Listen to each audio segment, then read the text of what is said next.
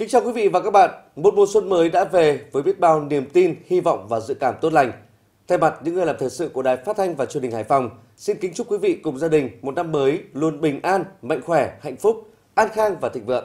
Mời quý vị và các bạn theo dõi chương trình thời sự tối nay, thứ bảy ngày mùng 10 tháng 2, mùng 1 Tết của Đài Phát thanh và Truyền hình Hải Phòng với những nội dung chính sau đây. Các đồng chí lãnh đạo thành phố đi thăm, động viên, chúc Tết các đơn vị làm nhiệm vụ trong đêm giao thừa.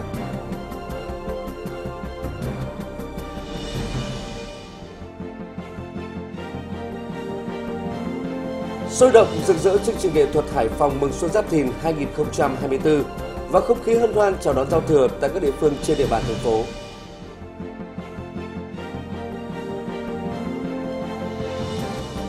Với những thành tích, kết quả đạt được trong năm 2023, thành phố tiếp tục vững bước, tận dụng thời cơ, tăng tốc bứt phá, hoàn thành thắng lợi các chỉ tiêu, nhiệm vụ đặt ra trong năm 2024. Cùng nhiều thông tin đáng quan tâm khác, sau đây là nội dung chi tiết.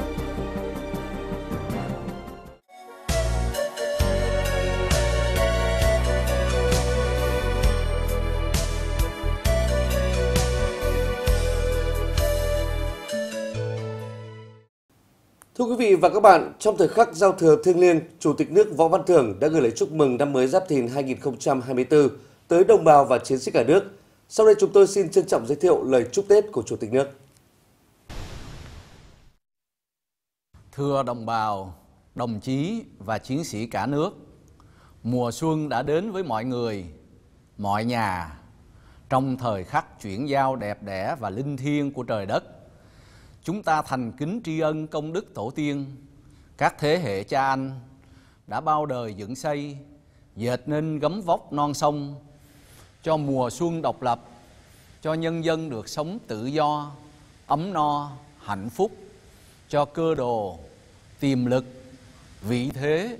uy tín đất nước hôm nay. Trong không khí ấm cúng, thiêng liêng đón Tết cổ truyền dân tộc,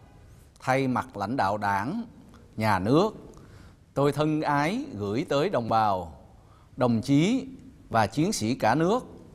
đồng bào ta ở nước ngoài, những tình cảm thân thiết, lời thăm hỏi ân tình và lời chúc mừng năm mới tốt đẹp nhất.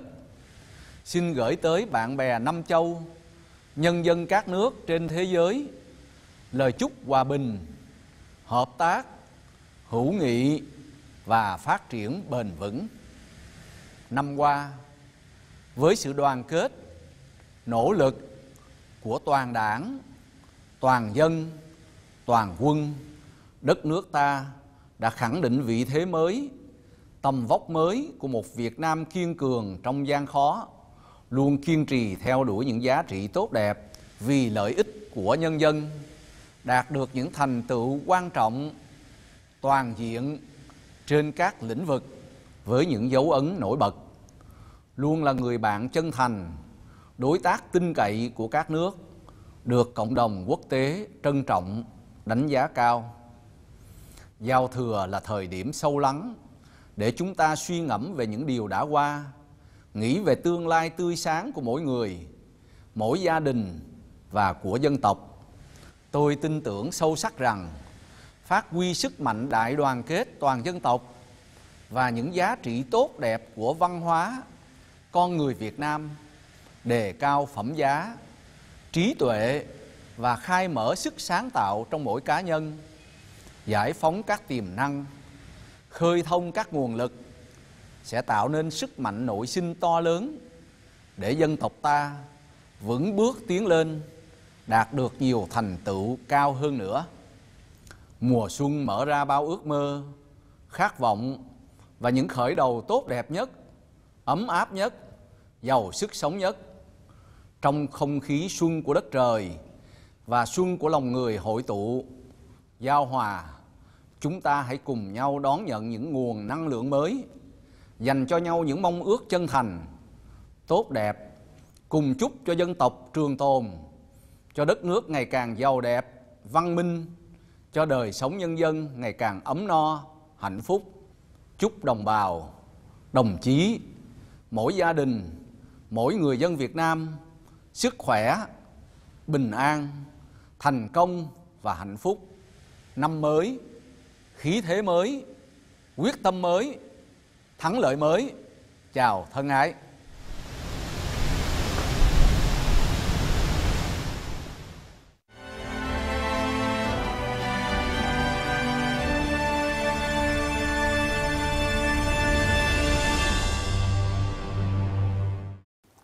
Theo, chúng tôi trân trọng gửi tới quý vị lời chúc mừng năm mới của đồng chí Lê Tiến Châu, Ủy viên Trung ương Đảng, Bí thư Thành ủy, Trưởng đoàn đại biểu Quốc hội thành phố Hải Phòng. Kính thưa toàn thể nhân dân, cán bộ, chiến sĩ lực lượng vũ trang thành phố Hải Phòng. Xuân mới, Xuân Giáp Thìn 2024 đang về. Thay mặt Thành ủy, Hội đồng Nhân dân, Ủy ban Nhân dân, Ủy ban Mặt trận Tổ quốc Việt Nam thành phố, tôi trân trọng gửi đến toàn thể nhân dân, cán bộ, chiến sĩ lực lượng vũ trang thành phố, cộng đồng doanh nghiệp, những người con của Hải Phòng đang sinh sống, công tác trên mọi miền của Tổ quốc. Bà con kiều bào Hải Phòng ở nước ngoài cùng bạn bè trong nước và quốc tế đang sinh sống và làm việc tại Hải Phòng. Lời chúc mừng năm mới tốt đẹp nhất. Năm mới an khang thịnh vượng mạnh khỏe thành công và hạnh phúc năm quý mão 2023 khép lại trong niềm vui phấn khởi tự hào của đảng bộ chính quyền quân và nhân dân thành phố về một năm gặt hái nhiều thắng lợi với những dấu ấn đặc biệt trên chặng đường xây dựng và phát triển thành phố. Tiếp nối truyền thống của quê hương, Hải Phòng đã có sự bứt phá, phát triển mạnh mẽ, công tác xây dựng đảng, xây dựng hệ thống chính trị, phát triển kinh tế, xã hội, quốc phòng, an ninh và đối ngoại của thành phố đều đạt được kết quả nổi bật và toàn diện. Tăng trưởng kinh tế 10,34%, 9 năm liên tục đạt tốc độ tăng trưởng hai con số thu hút vốn đầu tư trực tiếp của nước ngoài đạt kết quả lịch sử với hơn 3,6 tỷ USD. Vịnh Hạ Long, quần đảo Cát Bà được UNESCO công nhận là di sản thiên nhiên thế giới. Hạ tầng kinh tế, xã hội được đầu tư mạnh mẽ. Diện mạo đô thị, nông thôn chuyển biến theo hướng văn minh, hiện đại, nhiều cơ chế chính sách đặc thù, vượt trội về an sinh xã hội đã được ban hành. Lĩnh vực y tế được quan tâm giáo dục đào tạo đạt nhiều thành tích nổi bật, quốc phòng an ninh được giữ vững, đời sống vật chất, tinh thần của các tầng lớp nhân dân thành phố tiếp tục được cải thiện. Thành quả này có được từ sự đoàn kết, nỗ lực, trách nhiệm,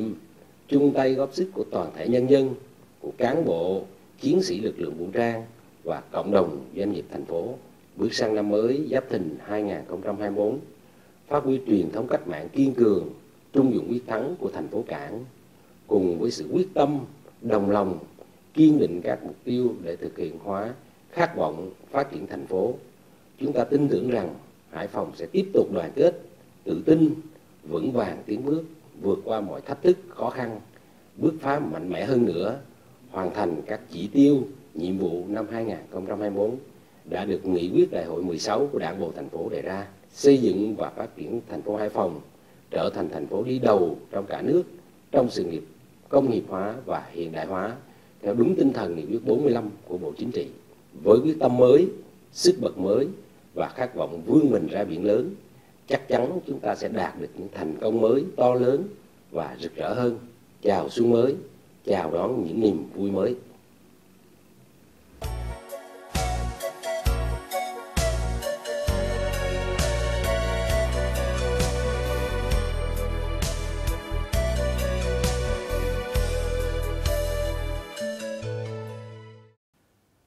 Quý vị và các bạn thân mến, chào năm mới Giáp Thìn 2024. Thành phố Hải Phòng cùng cả nước hân hoan đón xuân sang.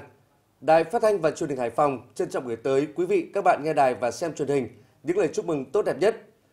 Là tiếng nói của Đảng bộ và chính quyền thành phố, đồng thời là diễn đàn của nhân dân. Năm qua, Đài Phát thanh và Truyền hình Hải Phòng đã nỗ lực vượt qua nhiều khó khăn thử thách trong kỷ nguyên số, tiếp tục đổi mới và nâng cao chất lượng chương trình, phát triển mạnh mẽ phương thức truyền thông trên các nền tảng số như website thp.vn, app THP On và các mạng xã hội, đáp ứng ngày càng tốt hơn nhu cầu thông tin, giải trí của nhân dân, hoàn thành xuất sắc nhiệm vụ chính trị được giao. Nhân dịp xuân mới, Đài Phát thanh và Truyền hình Hải Phòng trân trọng cảm ơn sự quan tâm, lãnh đạo và chỉ đạo sâu sát của Thành ủy, Hội đồng nhân dân, Ủy ban nhân dân thành phố, sự ủng hộ nhiệt tình và giúp đỡ hiệu quả của các cấp ngành, đoàn thể, các cơ quan đơn vị địa phương, các tổ chức kinh tế xã hội, sự yêu mến của đông đảo quý vị các bạn nghe đài xem truyền hình và trên các nền tảng số của TSP, sự cộng tác tích cực của đội ngũ thông tin viên, cộng tác viên. Chúng tôi kính mong tiếp tục nhận được sự quan tâm của các đồng chí lãnh đạo, các ban ngành cùng sự tin tưởng, ủng hộ của người dân để Đài Phát thanh Truyền hình Hải Phòng vững vàng bước vào năm mới, năm Giáp Thìn 2024 với niềm tin và sự phát triển mới. Mừng đón Tết đến xuân về, Đài Phát thanh và Truyền hình Hải Phòng kính chúc các đồng chí lãnh đạo, quý vị và các bạn dồi dào sức xuân, hạnh phúc, an khang và thịnh vượng.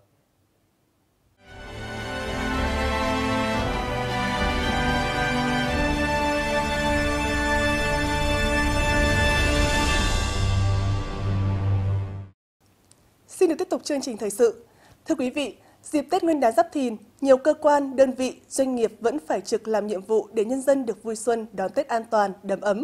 Trong đêm giao thừa, đồng chí Lê Tiến Châu, Ủy viên Trung ương Đảng, Bí thư Thành ủy, trưởng đoàn đại biểu Quốc hội Hải Phòng đã đi thăm, động viên, chúc Tết một số đơn vị. Cùng đi có các đồng chí Nguyễn Văn Tùng, Phó Bí thư Thành ủy, Chủ tịch Ủy ban dân thành phố, Đỗ Mạnh Hiến, Phó Bí thư Thường trực Thành ủy, Phạm Văn Lập, Ủy viên Ban Thường vụ Thành ủy, Chủ tịch Hội đồng nhân dân thành phố.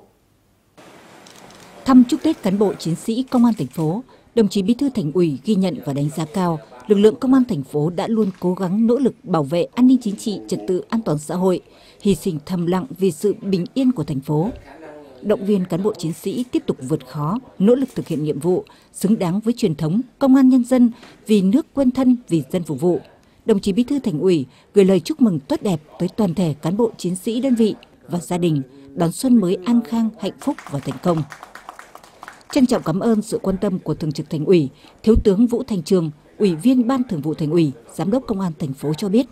trong dịp Tết Nguyên đán, lực lượng Công an thành phố duy trì trực 100% quân số, bảo đảm khép kín địa bàn, khép kín thời gian, tổ chức tuần tra, chốt điểm, giữ vững an ninh chính trị, trật tự an toàn xã hội, góp phần để nhân dân thành phố vui xuân đón Tết an toàn.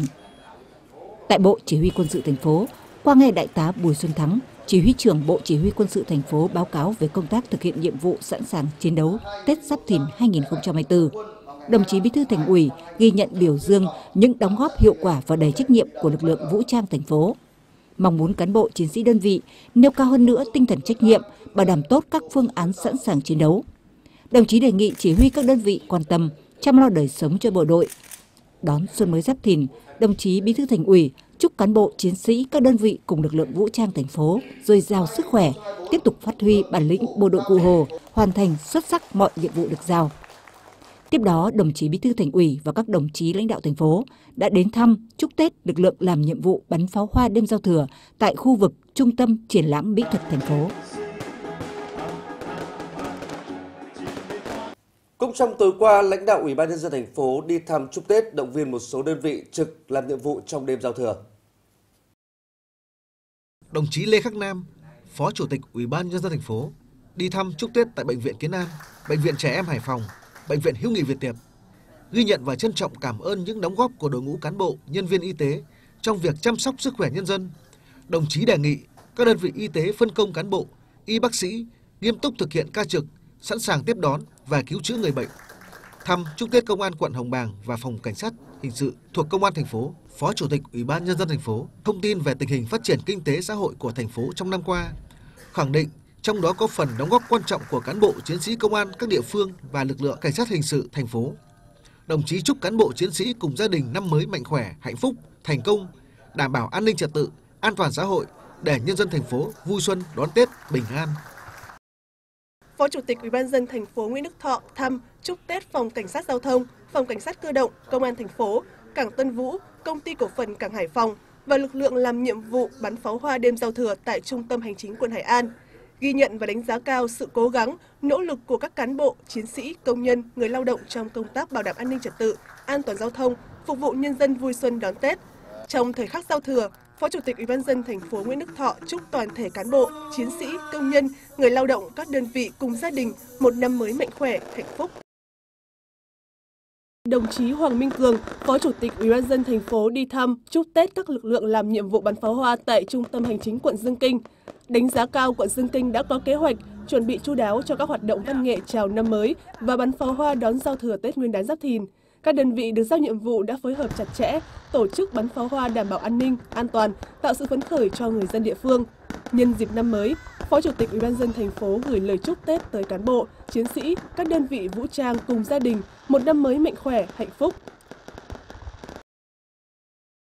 Vào dịp đón giao thừa, theo truyền thống của ngành nông nghiệp sẽ tổ chức đón con nước đầu năm mà nhân dân vẫn thường gọi là nước chạp thần để phục vụ việc gieo cấy, sản xuất và sinh hoạt với mong muốn có một năm mưa thuận gió hòa, nguồn nước đủ đầy, mùa màng bội thu. Đêm qua, Phó Chủ tịch Ủy ban dân thành phố Nguyễn Đức Thọ đã đến thăm, chúc Tết cán bộ, công nhân viên, người lao động công ty trách nhiệm hữu hạn một thành viên khai thác công trình thủy lợi An Hải và chứng kiến hoạt động lấy nước đầu năm tại cống Kim Sơn trên địa bàn xã Lê Thiện, huyện An Dương. Thăm chúc Tết và chứng kiến hoạt động lấy nước đầu năm tại cống Kim Sơn, Phó Chủ tịch Ủy ban dân thành phố Nguyễn Đức Thọ ghi nhận, biểu dương tập thể lãnh đạo, cán bộ, công nhân viên và người lao động công ty trách nhiệm hữu hạn một thành viên khai thác công trình thủy lợi An Hải trong năm qua, dù gặp nhiều khó khăn nhưng đã hoàn thành xuất sắc nhiệm vụ được giao, đảm bảo đủ nguồn nước tưới tiêu phục vụ sản xuất, quản lý tốt hệ thống, cung cấp nguồn nước thô chất lượng để sản xuất nước sạch cho sinh hoạt. Trong thời gian tới, đồng chí mong muốn công ty trách nhiệm hữu hạn một thành viên khai thác công trình thủy lợi An Hải tiếp tục đoàn kết, nỗ lực, cố gắng, phối hợp chặt chẽ với các địa phương, đơn vị để quản lý, khai thác, vận hành tốt hệ thống đảm bảo nước phục vụ sản xuất đúng kỳ, đúng hạn, đủ nguồn nước dự trữ cho các nhà máy nước sạch và kịp thời tiêu thoát nước khi có mưa bão, góp phần vào việc phát triển kinh tế xã hội của thành phố. Nhân dịp năm mới, đồng chí Nguyễn Đức Thọ chúc tập thể lãnh đạo, công nhân viên và người lao động công ty sức khỏe, hạnh phúc và hoàn thành xuất sắc nhiệm vụ được giao. Trong phần tiếp theo của chương trình, sôi động rực rỡ chương trình nghệ thuật Hải Phòng mừng xuân Giáp Thìn 2024 và không khí hân hoan chào đón giao thừa tại các địa phương trên địa bàn thành phố.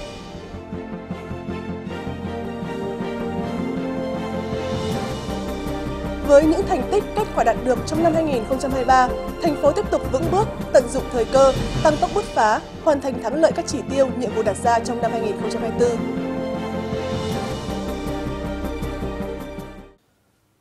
Tối qua tại quảng trường Nhã thành phố diễn ra chương trình nghệ thuật Hải Phòng mừng xuân Giáp Thìn 2024.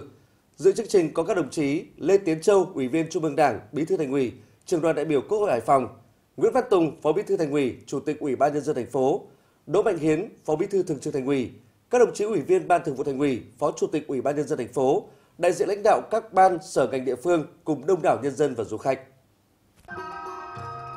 Chương trình nghệ thuật gồm 3 phần, được dàn dựng công phu hoành tráng, chất lượng nghệ thuật cao và được thực hiện bởi hàng trăm nghệ sĩ diễn viên đến từ năm đoàn nghệ thuật chuyên nghiệp của thành phố, các đơn vị nghệ thuật trên địa bàn thành phố, nhất là các giọng ca quán quân idol Việt Nam.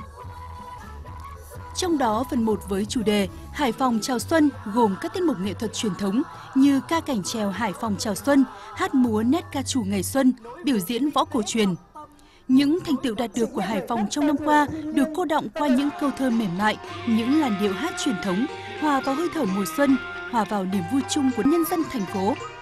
Phần 2 với chủ đề Xuân quê hương gồm các tiết mục giới thiệu và ca ngợi về những nét đặc trưng về con người, mảnh đất Hải Phòng như hình ảnh Cát Bà, Đồ Sơn, Bến Cảng, những con tàu ra khơi hay giải trung tâm thành phố,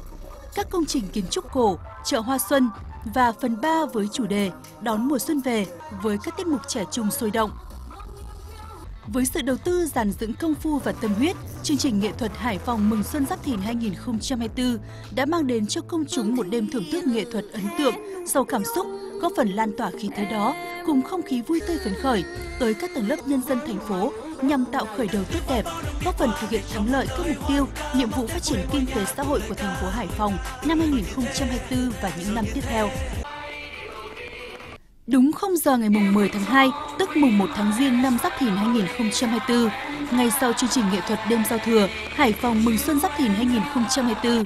các đồng chí lãnh đạo thành phố và đông đảo người dân và du khách đã chứng kiến thời khắc chuyển giao giữa năm cũ và năm mới với chương trình bắn pháo hoa đón giao thừa mừng Đảng, mừng xuân, mừng đất nước và thành phố đổi mới. Cùng lúc, 13 điểm bắn pháo hoa khác trên địa bàn thành phố được thắp sáng trong niềm vui mừng, phấn khởi của nhân dân.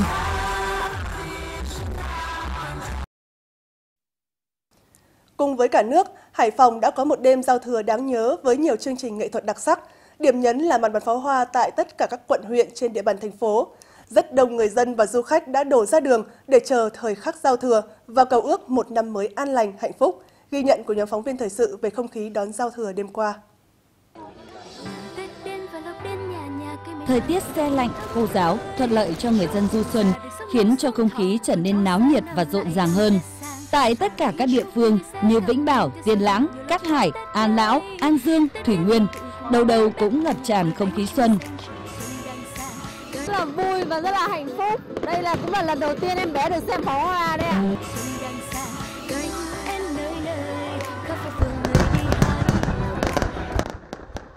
Dù là ngoài trời đang rất là lạnh nhưng mà mọi người cũng đang rất là hưng hực khí thế. Mong ước cho 24 thì trước tiên là sẽ mong ước cho mình và gia đình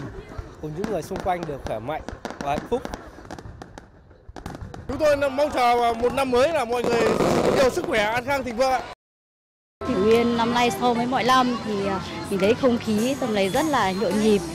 À, mọi người đi à, đón giao thừa để đón năm mới 2024 rất là đông vui và Thủy Nguyên đang trên đà phát triển nên thành phố mới có một khởi sắc rất là nhiều. Những chùm pháo hoa đủ sắc màu như muôn đó hoa mừng đảng, mừng đất nước, mừng thành phố bước sang mùa xuân mới với nhiều thắng lợi mới. Tất cả hòa chung niềm hân hoan, trao cho nhau những câu chúc năm mới hạnh phúc, bình an và may mắn.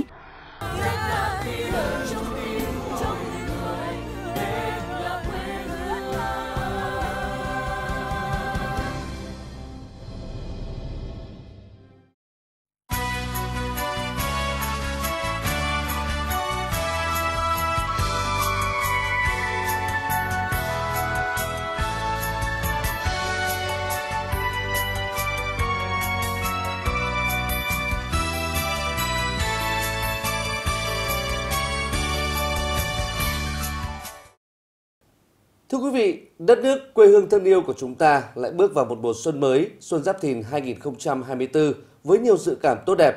Trong niềm vui hân hoan rộn ràng đón xuân, Hải Phòng đi qua năm 2023, một năm bộn bề khó khăn, lắm gian nan, nhiều thử thách. Nhưng với sự nỗ lực không ngừng, Đảng bộ, chính quyền, quân và nhân dân thành phố đã đạt được những kết quả rất đáng trân trọng và tự hào. Đây là động lực lớn để Hải Phòng vững bước, tiếp tục vượt qua khó khăn, thách thức, tận dụng thời cơ, tăng tốc bứt phá trong năm mới 2024, năm thứ tư thực hiện nghị quyết đại hội đảng các cấp, nghị quyết đại hội 13 của Đảng, nghị quyết đại hội đảng bộ thành phố lần thứ 16 với những mục tiêu và kỳ vọng mới. Năm Quý Mão vừa qua đi với bao khó khăn thách thức lớn, bất ngờ, tác động mọi mặt và ảnh hưởng nặng nề với toàn cầu. Trong bối cảnh rất đặc biệt đó, nhờ sự quyết tâm cao, nỗ lực phấn đấu, sự đóng góp to lớn bền bỉ của các cấp ủy đảng, chính quyền, các ngành, cộng đồng doanh nghiệp và nhân dân. Kinh tế xã hội thành phố tiếp tục có chuyển biến tích cực, đạt được kết quả khá toàn diện và nổi bật. Một số chỉ tiêu kinh tế chủ yếu có sự tăng trưởng cao so với cùng kỳ, một số chỉ tiêu vẫn đứng trong top đầu của cả nước. Tốc độ tăng trưởng tổng sản phẩm trên địa bàn thành phố GDP đạt 10,34%, đứng thứ 5 trên 63 tỉnh thành phố có tốc độ tăng trưởng cao và là năm thứ 9 liên tiếp thành phố giữ vững tăng trưởng ở mức hai con số. Đây cũng là năm thành phố thành công về thu hút vốn đầu tư FDI đạt hơn 3,6 tỷ đô la Mỹ, tiếp tục giữ vững vị trí top đầu cả nước, minh chứng cho hiệu quả của công tác đối ngoại. Các lĩnh vực văn hóa, giáo dục, y tế và chính sách an sinh xã hội được thực hiện tích cực. Quốc phòng, an ninh được tăng cường, trật tự an toàn xã hội được giữ vững, công tác xây dựng đảng, hệ thống chính trị đạt nhiều kết quả toàn diện. Có được cái kết quả như vậy đó, thì đó là cái sự nỗ lực của cả hệ thống chính trị và người dân thành phố. Và với cái sự lãnh đạo, chỉ đạo rất là sát sao, kịp thời của trung ương đảng à, của quốc hội, của chính phủ à, sự ủng hộ, giúp đỡ của các bộ ngành trung ương. Nhưng có một cái điều kinh nghiệm mà chúng tôi rút ra được, đó là chúng tôi biết trân trọng à, kế thừa và phát huy tối đa à, những cái kinh nghiệm à, những cái định hướng những cái tầm nhìn à, cũng như là khát vọng của các thế hệ lãnh đạo đối với thành phố Hải Phòng. Đón xuân mới với bao niềm tin và hy vọng. Mừng xuân mới với nhiều dự cảm tốt đẹp. Mừng Đảng ta 94 năm vẻ vang tiếp thêm niềm tin sức mạnh để toàn đảng bộ, chính quyền, quân và nhân dân thành phố phát huy sức mạnh nội lực, bản lĩnh và trí tuệ của người Hải Phòng, chung sức đồng lòng, nỗ lực phấn đấu, tăng tốc bứt phá, tranh thủ thời cơ, hành động quyết liệt, đưa nền kinh tế thành phố tiếp tục phát triển nhanh và bền vững trong năm 2024. Trên nền tảng à, những cái kết quả chúng tôi của các thế hệ đi trước, chúng tôi tiếp tục à, kế thừa và phát huy với nhiều cách làm mới, sáng tạo và quyết liệt. À, chúng tôi à, sẽ có những cái cái cái cách làm và, và có một cái định hướng để mở ra cái dư địa một cái không gian mới những động lực mới nguồn lực mới để quyết tâm mà thực hiện bằng được à, các cái chỉ tiêu à, nhiệm vụ mà Đại hội Đảng bộ thành phố lần thứ 16 đã đề ra xây dựng thành phố và trở thành thành phố đi đầu trong sự nghiệp công nghiệp hóa và hiện đại hóa đất nước như nghị quyết 45 của Bộ Chính trị à, phấn đấu và xây dựng thành phố trở thành thành phố gương mẫu trong cả nước như lời bác Hồ đã căn dặn khi về thăm thành phố Hải Phòng. Xuân mới đã về, trong khí thế rồng thiêng của năm mới Giáp Thìn, với truyền thống trung dũng quyết thắng của quê hương. Xuân mới tạo thêm niềm tin mới, động lực mới để Hải Phòng tiếp tục dệt nên những mùa xuân rực rỡ. Một mùa xuân mới lại về trong sự chờ đón của biết bao người. Mùa xuân là sự khởi đầu và cũng là mùa đẹp nhất trong năm. Vì vậy, dịp đầu năm, mọi người thường cầu mong những điều tốt đẹp nhất cho bản thân, gia đình cũng như những người thân yêu. Hãy cùng chúng tôi lắng nghe những mong ước giản dị, ấm áp của người dân thành phố trong ngày đầu năm mới.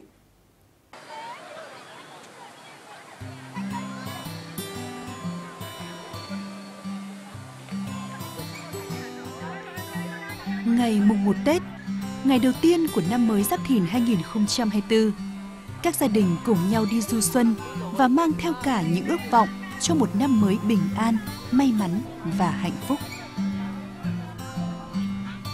Mong muốn rằng là bản thân mình cũng như người thân cùng gia đình à, cũng à, có nhiều sức khỏe cùng với cái không khí à, phát triển chung của thành phố thì là mong muốn tất cả mọi người dân một năm mới sẽ gặp nhiều may mắn, nhiều thành công hơn. Năm mới thì à, luôn luôn là mong uh, đại gia đình và tất cả mọi người, nhất là thành phố Hải Phòng luôn luôn là có một năm mới uh, có sức khỏe, bình an và Hải Phòng thì luôn luôn phát triển. Như phong tục của Việt Nam thì uh, đầu xuân mọi người hay đi mua muối để uh, chúc uh, bình an, uh, may mắn cả năm. Uh, thì tôi cũng vừa mua được uh, một uh, gói muối để mong uh, gia đình uh, năm mới và sự được như ý có thật nhiều sức khỏe này. Gia đình thì lúc nào cũng hạnh phúc này. Có phát triển về kinh tế và làm được nhiều việc thiện thì càng tốt. Em mong muốn rằng việc học tập của em sẽ tốt hơn. Sang năm 2024 thì năm con rồng thì mọi người đều được phất lên như rồng. Những người cùng lứa 2006 như em thì năm nay sẽ có một năm thi đại học thành công. Chúc tất cả mọi người một năm mới bình an ạ. Và làm ăn phát đạt riêng mình thì em sẽ gọi là cố gắng để cải thiện bản thân nhé. Chúc mừng năm mới. Happy New Year.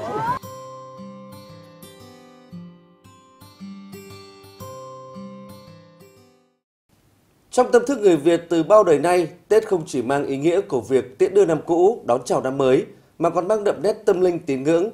Ngoài tục lệ cúng gia tiên, nhiều người thường tìm đến các đền chùa để cầu phúc cầu may cho gia đình và người thân trong dịp đầu năm.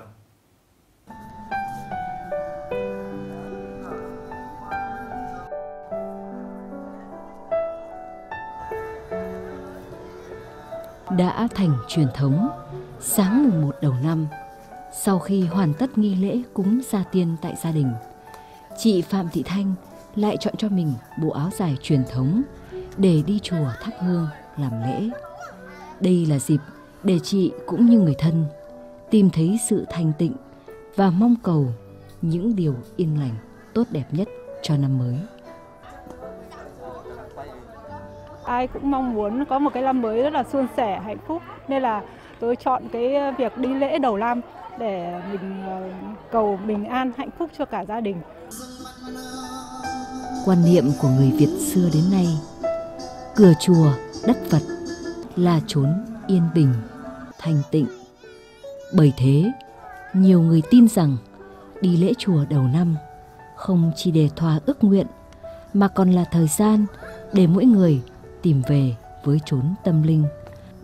Bỏ lại phía sau, bao vất vả lo toan, của cả một năm ngược xuôi, bươn bải. Cuộc sống ngày càng hiện đại văn minh, nhưng nét văn hóa đi lễ chùa đầu năm của dân tộc vẫn luôn được người dân lưu giữ. Không chỉ mong cầu sự bình an khi tìm tới cửa chùa, thói quen đi chùa đầu năm mà gia đình chị Trần Phương Thảo nhiều năm qua vẫn duy trì còn là cách gia đình giáo dục về nét văn hóa, phong tục truyền thống của dân tộc đến với các con mình. Đối với cá nhân em và gia đình thì đây là một cái truyền thống rất là đẹp. Gia đình em thì cũng luôn luôn là mùng một tổ chức là dẫn các cháu đi và cũng giới thiệu cho các con về các truyền thống lịch sử về um, những cái tín ngưỡng tốt đẹp của dân tộc được uh, cho con cái họ có thể kế con cái có thể kế thừa. Nơi cửa chùa tôn nghiêm, khói hương trầm như hòa quyện với không khí xe lạnh. Hòa vào dòng người đi lễ, bất kỳ ai cũng cảm nhận được sự giao hòa của đất trời khi vào xuân, sự thành tâm, lắng lại và bình an trong tâm mỗi con người. Với mỗi người dân Việt Nam, đi lễ chùa đầu năm là nét văn hóa truyền thống được hình thành từ lâu, tạo nên bức tranh đa sắc màu trong nền văn hóa tiên tiến đậm đà bản sắc dân tộc. Qua đó không chỉ thể hiện khát vọng về một cuộc sống hạnh phúc, no đủ, mà còn là dịp để vun đắp cho tinh thần người Việt thêm yêu và trân trọng những giá trị cội nguồn.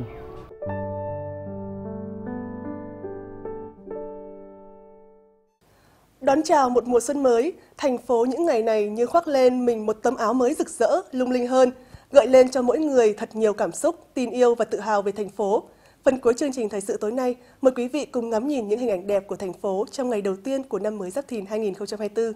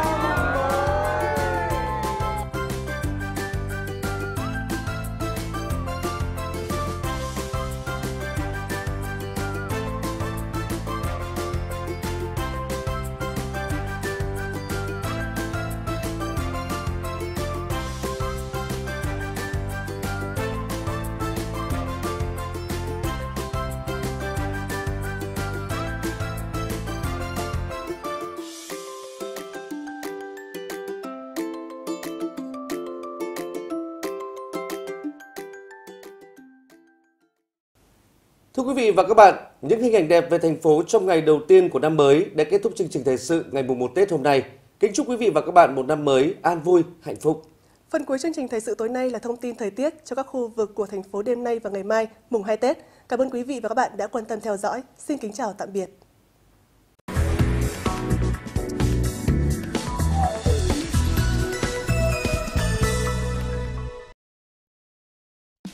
Dự báo thời tiết thành phố Hải Phòng đêm nay và ngày mai, khu vực trung tâm thành phố ít mây đêm không mưa, ngày trời nắng trời rét gió nhẹ, nhiệt độ từ 12 đến 22 độ, độ ẩm từ 70 đến 75%.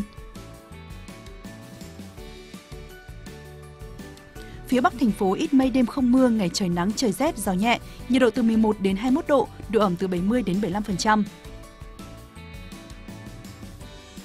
Phía Nam thành phố ít mây đêm không mưa, ngày trời nắng trời rét, gió nhẹ, nhiệt độ từ 12 đến 21 độ, độ ẩm từ 70 đến 75%. Khu vực Đồ Sơn và quần đảo Cát Bà ít mây, đêm không mưa, trưa chiều trời nắng trời rét, gió đông bắc cấp 2 cấp 3, nhiệt độ từ 14 đến 21 độ, độ ẩm từ 80 đến 85%. Huyền đảo Bạch Long Vĩ ít mây đêm không mưa, trưa chiều trời nắng trời rét, gió đông bắc cấp 3 cấp 4, nhiệt độ từ 15 đến 21 độ, độ ẩm từ 80 đến 85%. Khu vực Vịnh Bắc Bộ không mưa, tầm nhìn xa trên 10 km, gió Đông Bắc cấp 3, cấp 4.